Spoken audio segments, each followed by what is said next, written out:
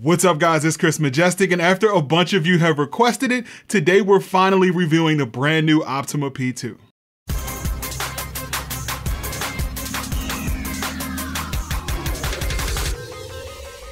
Alright, so today we're checking out the Optoma P2. So this is the successor to the P1, which was the runner-up for the best ultra short throw projector in last year's best projector video. So the Optoma P2 does have a few differences from the P1, which I'll talk about in a second, but the very first thing you'll notice is that it's white instead of black. I know a lot of you guys probably don't like this since you guys constantly go off in the comment section about white projectors, but I assume they did this to match the competition since everybody else seems to be making white projectors. Hate it or love it, it pretty much looks like a white P1. You still have the gray fabric on the front that's hiding the 40 watt internal speakers, and the power button is now silver instead of copper.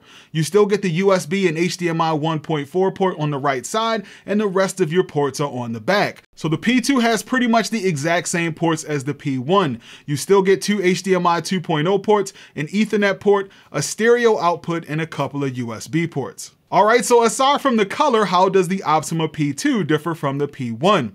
Well, the very first thing is the price. So priced at $3,300, the P2 cost about $500 less than the P1, which is a pretty big deal, especially considering it has better specs. So some of the key features include a six segment RGB RGB color wheel instead of RGBY. It also has much better contrast with a 2 million to 1 contrast ratio. And last but not least, the P2 now comes with game mode, so it has much better input lag. And speaking of gaming, today's video is sponsored by Raid Shadow Legends. Now it's been a while since I've had time to play a mobile game, but I gotta say this one is pretty fun. So if you've never heard of it, Raid is a 3D fantasy RPG for desktop and mobile where you collect champions from different factions and level them up to battle against AI or other players in PvP. Each champion has their own set of skill trees and there are millions of artifacts so you can come up with your own unique strategy. When I first heard of this game, I didn't think I was going to be into it, but after I downloaded it and realized that I hadn't moved from my seat in three hours, I realized why this game is so popular. Not only does it have great graphics, but there's so much to do in the game that you'll never get bored with it. You even get daily rewards just for logging in, and they just released the Artifact Forge where you can save time and craft your own artifacts, and there's a new advanced quest system with even more rewards. Not to mention they've recently added a bunch of new champions and they're developing a new Doom Tower, which adds even more exciting content. So check out the links in the video description and if you're a new player, you'll get 100,000 free silver and a free champion. And all this cool stuff will be waiting for you in the chest right here for the next 30 days. So I wanna thank Raid for sponsoring today's video and let's jump back into the Optoma P2 review. So the P2 is an ultra short throw projector. And if you're not familiar with these, I did do a video recently where I compared an ultra short throw projector to a standard projector. So I'll put a card up here for you to check that video out. But being an ultra short throw means that you put this projector right in front of your screen. So I'll be using a 120 inch CLR3 ambient light rejecting screen from Elite Screens, which works great for an ultra short throw projector. But if you want to save some money, you could use a regular screen and the image will still look good since the projector is so bright. So like most ultra short throw projectors, the P2 is very easy to set up. You just sit it on a TV stand and adjust the feet to get it lined up on the screen. Now it can be kind of tricky and it does take a bit of patience, but you can use the SmartFit app to help you get it lined up. Now, one thing you need to keep in mind is that even though this is an ultra short throw, just like the P1, the back of the projector needs to sit about 15 inches away from the screen in order to produce a 120 inch image. And also like the P1, you need to also consider the vertical offset since the projector needs to be positioned more than a foot below the bottom of the screen if you go with 120 inches. So this means you might either need high ceilings or a really low stand. So with a new lower price and added features, how does the P2 perform? Well, it's still running the Aptoide OS, which I absolutely despise. I tried my best to like this interface and I was pretty soft on it in my Optoma P1 review, but Aptoide is bad enough that I can't really consider this a smart projector. It's basically a stripped down version of Android. You can install apps, stream video, and now it has an improved frame digital art screensaver, which is pretty cool, but the interface is clunky, the apps are buggy, and the video quality you get from the apps is pretty bad. I would have loved to see an actual Android TV OS on this projector considering the price, so Optoma, if you're listening, please find a way to do this. Anyways, just know that I would definitely recommend a streamer like the Nvidia Shield or Apple TV if you want the best streaming experience. Thankfully, the menu system is pretty good. So you have the main menu, which allows you to get to all of your settings, including picture modes and advanced image settings. And it still has the shortcut menu that you can access by holding down the button on the remote. And it looks like they added more options to this menu, which is nice to see.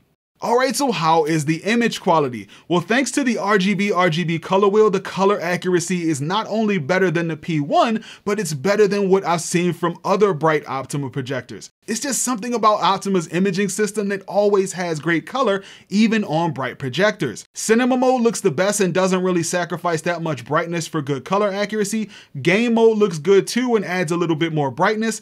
Bright mode is super bright but way too green, but it probably would work okay in a room with a lot of sunlight. And even though I didn't think the slight increase in contrast would be noticeable, I could definitely see it. Not only does it have better overall contrast, but it also has noticeably better black levels compared to the P1. So not only does SDR content look good, but HDR from the P2 looks great too. As I always say, it's really tough for a projector to produce a good looking HDR image, so they all have their own way of tone mapping.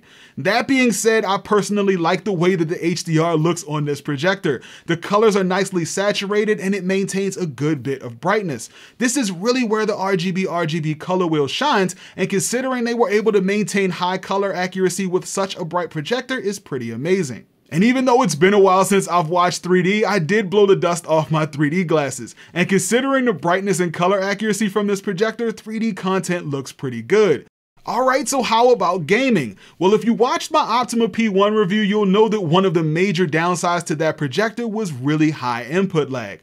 Well, Optoma has added a game mode to the P2 to help with input lag, and it definitely helps.